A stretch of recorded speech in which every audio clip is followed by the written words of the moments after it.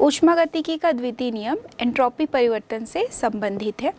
ऊष्मागतिकी के नियम हैं, उसके अलग अलग स्टेटमेंट दिए गए हैं समय समय पर वैज्ञानिकों के द्वारा। हम इसे अलग अलग स्टेटमेंट के फॉर्म में पढ़ सकते हैं कि जब भी हम देखते हैं कि किसी भी गर्म वस्तु से ऊष्मा का प्रवाह होता है तो वो अपने आप ठंडी वस्तु की ओर होता रहता है। और यदि ठंडे से गर्म की तरफ़ होना है तो उसमें बाह्य कार्य की आवश्यकता होती है। जितनी भी प्राकृतिक घटनाएँ होती हैं, वो अनुत्क्रमणीय होती है। और प्रायः सभी अनुत्क्रमणीय घटनाओं के लिए हमने ये देखा कि एंट्रोपी का मान लगातार बढ़ता जा रहा है। तो ऐसे बहुत सारे स्टेटमेंट्स हैं तो हम अलग अलग सभी को देखेंगे। ऊष्मा ऊष्मागतिकी के द्वितीय नियम से संबंधित कुछ कथन हम जान लेते हैं। तो सबसे पहला है, बिना किसी बाहरी कार्य के ऊष्मा का जो प्रवाह है, वो स्वतः ही ठंडे पिंड से गर्म पिंड की ओर प्रवाहित नहीं हो सकती है। दूसरा है कि प्रकृति में होने वाली सभी स्वतः प्रवर्तित जो प्रक्रम होते हैं, वे अनुत्क्रमणीय होते हैं। तीसरा जो कथन है, वह है स्वतः प्रवर्तित प्रक्रम में ब्रह्मांड की एंट्रोपी लगातार बढ़ती जा रही है। अर्थात डेल्टा एस कुल बराबर डेल्टा एस तंत्र प्लस डेल्टा एस परिवेश। तो यहाँ पर जो कुल एंट्रोपी परिवर्तन है, वह तंत्र की एंट्रोपी परिवर्तन एवं परिवेश की एंट्रोपी परिवर्तन का योग होती है। अगला स्टेटमेंट है कि बिना किसी नुकसान के ऊष्मा को पूर्ण रूप से कार्य में बदलना संभव नहीं है। तो यहाँ पर ऊष्मा को बिना किसी नुकसान के पूरी तरह से कार्य में परिवर्तित करना संभव नहीं है। तो ये सभी जो कथन है, वो उष्मागतिकी के द्वितीय नियम से संबंधित हैं। अब हम जानेंगे मुक्त ऊर्जा परिवर्तन। मुक्त ऊर्जा परिवर्तन को सबसे पहले जे विलियर्ड गिब्स, वैज्ञानिक है, उन्होंने उष्मागतिकी के एक नए पद को इंट्रोड्यूस किया। इसके द्वारा उन्होंने स्वतः प्रवर्तित जो प्रक्रम है, उसकी दिशा का ज्ञान हो सकता है नहीं। कोई भी अभिक्रिया संभव है या नहीं तो इन सब चीज़ों को समझाने के लिए उन्होंने एक नए पद को बताया, जिसे कहते हैं मुक्त ऊर्जा। इसे कैपिटल जी से दर्शाया जाता है और मुक्त ऊर्जा परिवर्तन को डेल्टा जी से दर्शाया जाता है। तो मुक्त ऊर्जा परिवर्तन को हम जब व्यक्त करते हैं तो मुक्त ऊर्जा परिवर्तन को हम कह सकते हैं अधिकतम उपयोगी कार्य। यानी तंत्र को जितनी भी ऊर्जा दी जा रही है, वह तंत्र उस ऊर्जा को या उस ऊर्जा की मात्रा को कितना अधिकतम उपयोगी कार्य में खर्च कर सकता है, वही उसकी मुक्त ऊर्जा कहलाती है। मुक्त ऊर्जा की परिभाषा कि स्थिर ताप एवं दाब पर किसी भी तंत्र से प्राप्त ऊर्जा की वह मात्रा जिसे उपयोगी कार्य में लगाया जा सके तो तंत्र की मुक्त ऊर्जा कहलाती है। तो जितनी भी ऊर्जा है, उसको उपयोगी कार्य में यदि लगाया जा रहा है तो वही उसकी मुक्त ऊर्जा या फ्री एनर्जी होती है। इसको उन्होंने एंथैल्पी और एंट्रोपी के साथ भी संबंधित किया। इसके लिए जो सूत्र दिया, G बराबर एच माइनस टी एस तो यहाँ G मुक्त ऊर्जा है, H enthalpy S entropy T तापमान। इसे उन्होंने एक समीकरण का रूप दिया। यही समीकरण गिब्स हेल्महोल्ट्ज समीकरण के रूप में जाना गया। तो गिब्स हेल्महोल्ट्ज समीकरण की व्युत्पत्ति के लिए भी हमें इस सूत्र की आवश्यकता होगी। G बराबर H minus T S H यहाँ एंथैल्पी है। एंथैल्पी बराबर होता है आंतरिक ऊर्जा एवं जो दाब आयतन कार्य गुणनफल, इनका योग। तो H बराबर U प्लस पी वी यदि h का मान यहाँ पर g बराबर h माइनस टी एस में जो h है वहाँ पर रखते हैं तो g बराबर u plus P V minus T S पूरे समीकरण में यदि हम परिवर्तन करें तो डेल्टा g बराबर डेल्टा u, डेल्टा फिर ब्रैकेट में हमने लिखा पी वी माइनस ब्रैकेट में फिर से लिखेंगे टी एस यहाँ जो ब्रैकेट में लिखा हुआ है, डेल्टा पी वी या डेल्टा टी एस इसको हम एक बार P को स्थिर रखेंगे, B में परिवर्तित करेंगे, फिर V को स्थिर रखेंगे, P में परिवर्तन करेंगे। इसी तरह से यदि एस में जो डेल्टा लगा हुआ है, वहाँ हम देखेंगे T को स्थिर करेंगे और एस में परिवर्तन करेंगे, या फिर एस को स्थिर करते हैं और टी में परिवर्तन करते हैं। तो जो समीकरण आएगा वो किस प्रकार होगा? डेल्टा जी बराबर delta U plus P delta V यहाँ पर पी स्थिर है, डेल्टा वी मतलब वी में परिवर्तन हो रहा है प्लस वी डेल्टा पी यहाँ पर पी में परिवर्तन हो रहा है। माइनस टी डेल्टा एस जहाँ एस में परिवर्तन हो रहा है माइनस एस डेल्टा टी जहाँ पर टी में परिवर्तन हो रहा है। और यदि इस पूरे समीकरण में हम देखेंगे कि दाब और ताप को स्थिर कर दिया जाए, अर्थात डेल्टा टी बराबर शून्य और डेल्टा पी बराबर भी शून्य तो यदि डेल्टा टी और डेल्टा पी शून्य होगा तो यहाँ पर वी डेल्टा पी भी शून्य हो जाएगा और एस डेल्टा टी भी शून्य हो जाएगा। यहाँ पर जो मान हमें प्राप्त होता है, डेल्टा जी बराबर delta U plus P delta V minus T delta S तो चूँकि एंथैल्पी परिवर्तन का सूत्र है, डेल्टा एच बराबर delta U plus P delta V तो delta u plus P delta V के स्थान पर हम लिख सकते हैं डेल्टा h तो डेल्टा g बराबर होगा delta h minus T delta s तो डेल्टा g बराबर delta h minus T delta s को हम जानते हैं गिब्स हेल्म होल्ड समीकरण के रूप में।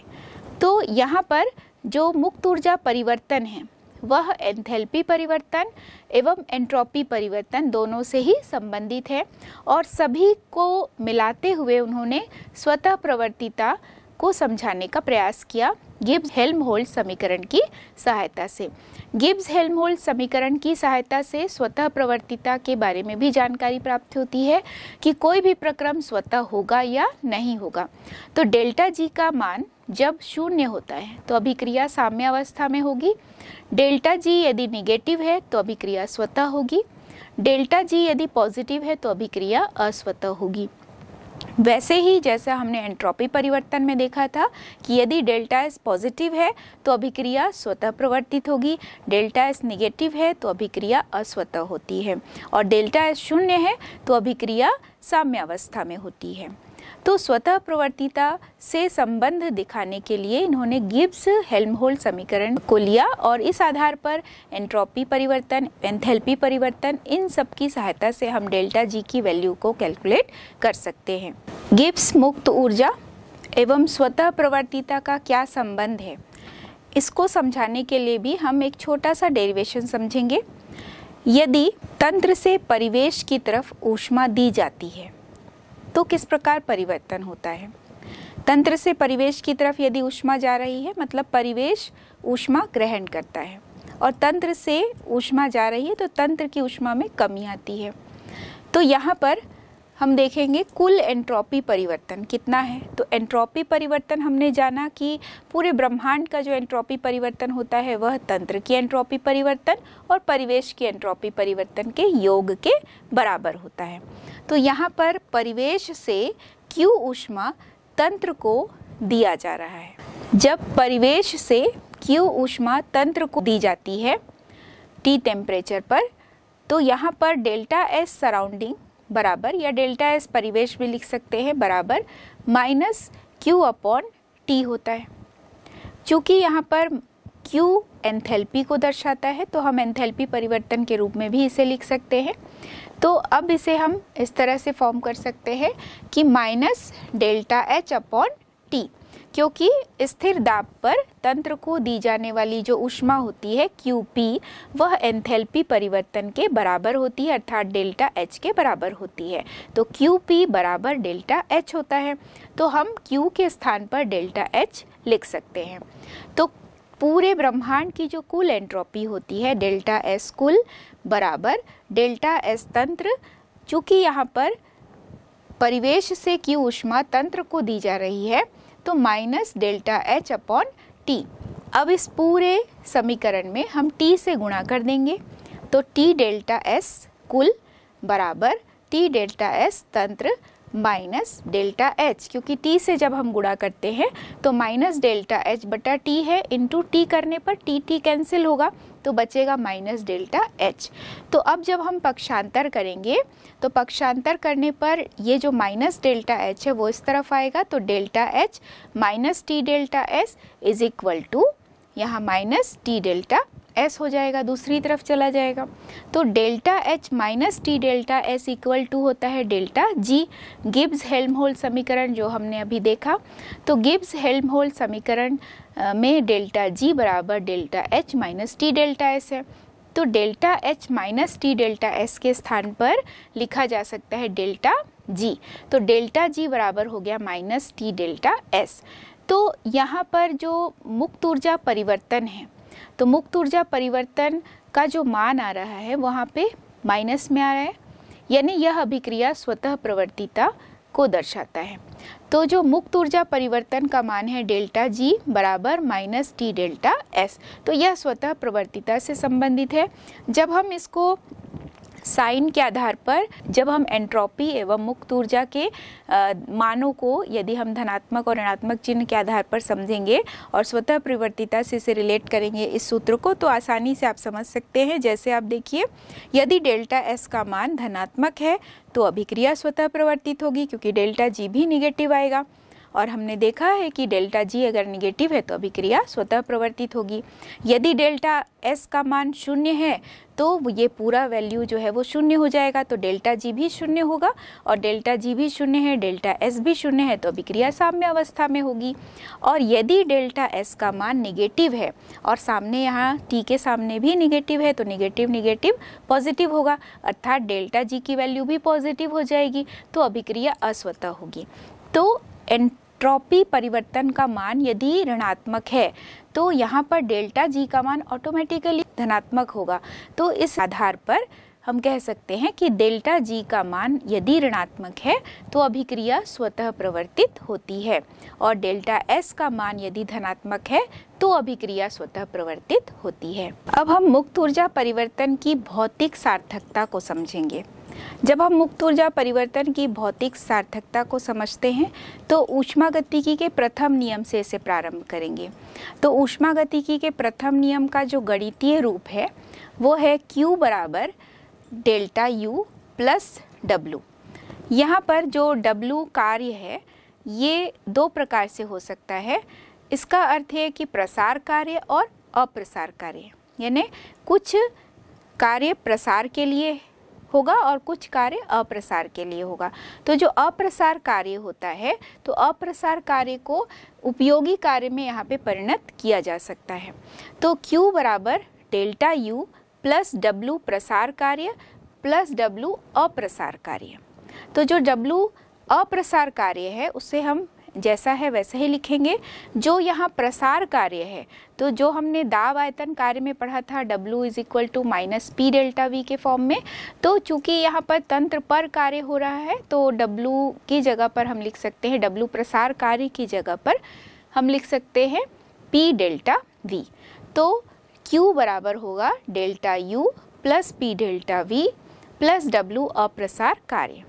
तो delta U plus P delta V चूँकि दर्शाता है एंथैल्पी परिवर्तन को, यानी डेल्टा एच को तो डेल्टा एच बराबर delta U plus P delta V तो delta U plus P delta V के स्थान पर हम लिख सकते हैं डेल्टा एच अब जो हमारे पास स्थिति आती है क्यू बराबर डेल्टा एच प्लस डब्लू अप्रसार कार्य। अब जो कि यहाँ पर एंट्रोपी परिवर्तन को भी लिया जाएगा। ऊष्मागतिकी के द्वितीय नियम के आधार पर हमने एंट्रोपी को पढ़ा। तो तंत्र में जो एंट्रोपी परिवर्तन होता है, वो टी टेम्परेचर पर तंत्र को दी जाने वाली ऊष्मा के बराबर है। तो Q अपॉन टी तो डेल्टा एस बराबर होता है Q अपॉन टी तो यहाँ पर यदि डेल्टा एस कैलकुलेट करते हैं तो Q अपॉन टी लिखते हैं और T डेल्टा S बराबर हम Q लिख सकते हैं। तो जो Q का मान है, वह हम इस समीकरण में रखेंगे। तो Q का मान रखने पर होता है T डेल्टा S बराबर डेल्टा H प्लस डब्लू अप्रसार कार्य। तो चूँकि delta H minus T delta S यदि हम करेंगे तो हमें मुक्त ऊर्जा परिवर्तन ज्ञात हो जाएगा। और यहाँ जो कि डब्लू अप्रसार कार्य पॉजिटिव साइन लिए हुए हैं तो हम इसे पक्षांतर कर दिए तो ये माइनस साइन हो गया। और डेल्टा एच इसको इस तरफ़ ले जाएँगे टी डेल्टा एस को तो ये भी हो जाएगा माइनस फॉर्म में। तो delta H minus T delta S delta G बराबर delta H minus T delta S है। तो delta H minus T delta S की जगह पर हम लिख सकते हैं डेल्टा जी। तो डेल्टा जी बराबर होगा माइनस डब्लू अप्रसार कार्य। यदि हम माइनस चिन्ह को डेल्टा जी की तरफ़ लगा दें तो हो जाएगा minus delta G equal to W अप्रसार कार्य। तो हम ये कह सकते हैं कि जो मुक्त ऊर्जा परिवर्तन में कमी है, वह अप्रसार कार्य के माप के बराबर है। तो हम इसे इस तरह से स्टेटमेंट दे सकते हैं कि किसी भी प्रक्रम में तंत्र की मुक्त ऊर्जा में जो कमी है, उस तंत्र द्वारा किए गए अप्रसार कार्य की माप होती है। यहाँ पर जो मुक्त ऊर्जा परिवर्तन है, उसकी भौतिक सार्थकता समझ में आती है। इसका संबंध प्रथम नियम से एवं एंट्रोपी से हमने किया। तो जो अप्रसार कार्य है, वह तंत्र की मुक्त ऊर्जा परिवर्तन में कमी के बराबर होती है। गिब्स हेल्महोल समीकरण में डेल्टा जी की वैल्यू किस प्रकार निगेटिव हो सकती है? या वह स्वतः प्रवर्तिता से कैसे संबंधित है? इसे हम चलिए जानते हैं।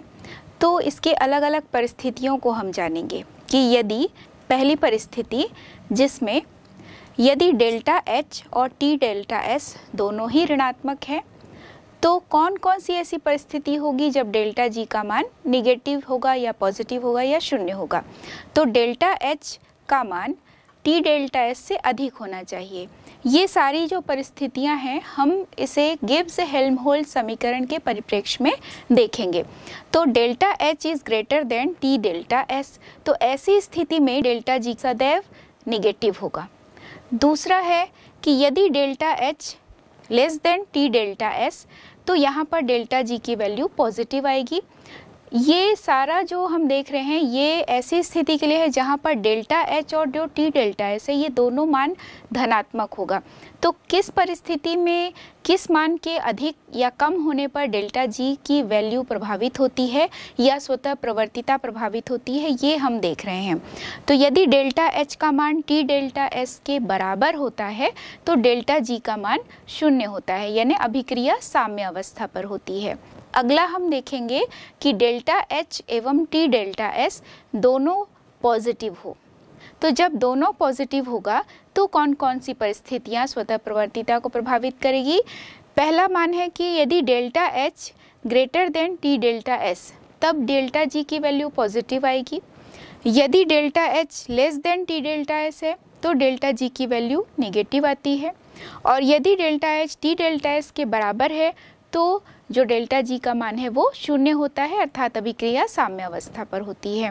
तो ये दोनों परिस्थिति हमने देखा कि जब डेल्टा एच और टी डेल्टा एस का मान ऋणात्मक होगा तो कौन कौन सी परिस्थितियाँ हैं जो डेल्टा जी की वैल्यू को प्रभावित करेंगी? इसी तरह से यदि डेल्टा एच और टी डेल्टा एस का मान धनात्मक है तो कौन कौन सी परिस्थितियाँ हैं जो डेल्टा जी को प्रभावित करती हैं? इसके अलावा कुछ और परिस्थितियाँ हैं, जैसे डेल्टा एच ऋणात्मक हो और टी डेल्टा एस धनात्मक हो।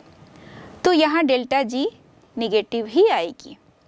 अगली परिस्थिति है कि डेल्टा एच का मान धनात्मक है और टी डेल्टा एस का मान ऋणात्मक है। तो डेल्टा जी का मान धनात्मक होगा। तो यहाँ पर जो डेल्टा जी का मान धनात्मक है, यानी प्रक्रिया अस्वतः है, और यदि डेल्टा जी का मान ऋणात्मक है तो अभिक्रिया स्वतः होगी, और डेल्टा जी का मान शून्य है तो अभिक्रिया साम्य अवस्था में हो रही है।